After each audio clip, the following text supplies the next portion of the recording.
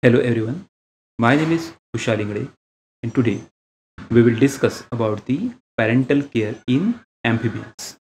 While talking about this point, we know that in amphibians there are many devices or the ways for the protection of their young ones during the early stages of development.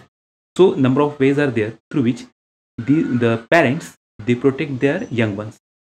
So first one is that that is the protection by means of the nest or the nursery. So in again a part in enclosures in the water. So a large tree frog protects its progeny or the young ones by building a basin shaped nursery in shallow water on the border of the plant. So in this example, the female scoops up mud to a depth of 3 to 4 inches and with the material thus removed a circular wall which is built and emerges above the surface of water. Now, the eggs and early larvae, these are protected from the attack of many insects and the fishes. Next one, that is in holes near the water. Now, this condition occur in Japanese tree frog. The male and female bury themselves in the damp earth on the edge of ditch or flooded rice field and make either hole or the chamber few inches above the water level. So this is the way through which this Japanese tree frog, okay, either this may be the male or the female. Okay, so they makes the hole near the water. The walls of this chamber are polished and female first produces secretion from the cloaca and eggs are deposited into that uh, particularly that hole. Okay so in this way their young ones they get protection. Coming to the next in nest on trees or on rocks overhang, overhanging the water. Now this condition occurs in a tree frog that is Rhacophorus malabaricus.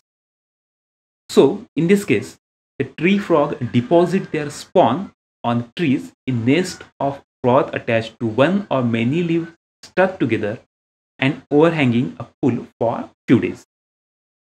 The larvae move in froth and after losing external gills, they fall in water to complete metamorphosis.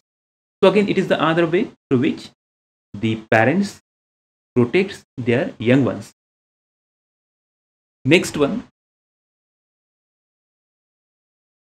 that is in transparent gelatinous bag in the water. So the eggs of this species, that is Phrynixalus biroi, the eggs are large, which are enclosed in a transparent membrane secreted by female and left in mountain streams. Now, the whole development, in this case, the whole development takes place within the eggs and little frogs go out in perfect condition. Okay, so what is coming out here uh, from the eggs? Not the larvae, but actually the little frogs. They are coming out uh, from these eggs. So in this condition no gills have been observed and the large tail serve as a breathing organ of young as we know that in case of the amphibians particularly uh, if you uh, see the frog frog carry out the respiration through their skin also. Okay.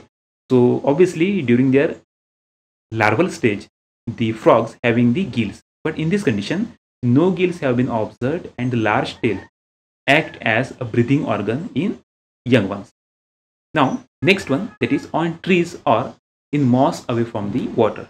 So, in several species of tropical American genus Hylodes, the eggs are deposited in damp places under the stones or moss or plant leaves and are of large size. Okay. So, in several species of the tropical American genus, they deposit their eggs into the either damp places or they can lay under the stones or moss or the plant leaves and these eggs are of the large size. Now the metamorphosis is hurried up within the eggs. Hurried up means what? That the whatever the metamorphosis is going on or occurring within the eggs which is nothing but slightly occur very fast. So plenty of yolk in the egg and hence the entire development takes place there. Okay. So it means that huge amount of or bulky amount of the yolk is present within the egg. That's why the entire development takes place there. Again, in this condition also, no gills have been observed. or seen. Next one, the direct nursing by the parent. So in the previous examples, we learn or we saw that the parents either whatever the females were there, these females were laying their eggs at protected area. But here the parents they are direct nursing or they are direct taking care of their young ones. First one is that the tadpoles transported from one place to the other. Okay, so uh, small South American frog that is phyllobates and dendrobates have been repeatedly observed carrying well-developed tadpoles on their backside. Okay, so in this way, this is the direct protection by the parents. Here, the tadpoles adhere, uh, means they stick by their sucker-like lips and flattened abdomen and thus they are carried from one place to the other place. Next one is that the eggs protected by male who covers with his body. So eggs of Mantophryne robusta are stunning together by an elastic gelatinous envelope. Now they are 17 in number and form a clump over which the male sits holding it with both hands and development takes place there. Here the larvae, again, the larvae have no gills, well-developed legs, large tail, which is a vascular and respiratory in nature. Next is that the eggs carried by the parents. So, first one that is round the legs by male. So, when the eggs are deposited, the male first leave the female's waist and shift hold to the base of the head. So, after this, the eggs are passed out in two or three times at short intervals. Okay. Then the male then binds the string and push them around the eggs. In this way, these eggs can be carried out by the male. Then another example is that on the back of the female. So first one is that the exposed. Now in Brazilian female tree frog that is Hyla goeldi carry eggs on their back. And in next example that in cell-like pouches so in Pipa americana, the eggs are carried out on the back of the mother, but the skin thickens and grows around the eggs. Finally, covered by a lid and eggs develop in these pouches and the young leap out in the perfect condition. Next is that in common pouch. So in Nototrema, the whole of the brood is sheltered in a common pouch. Okay, and this and this dorsal pouch develops only during the breeding season. Next is that on the belly exposed by the female. Okay.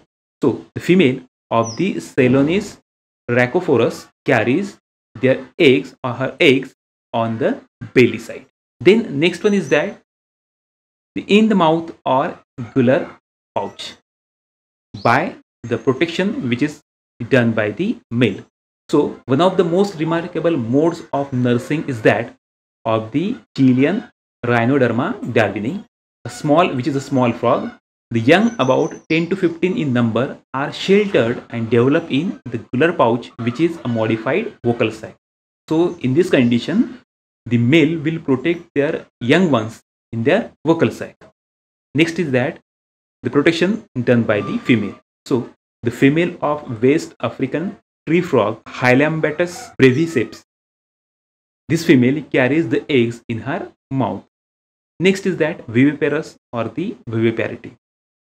Two small East African toads that is Pseudophryne vivipara and Nectophryne tornieri are known to be viviparous but no observations have been made on them beyond the fact that larvae are found in the uteri. So it was all about the parental care taken by the amphibians. So this is my reference. Thank you so much.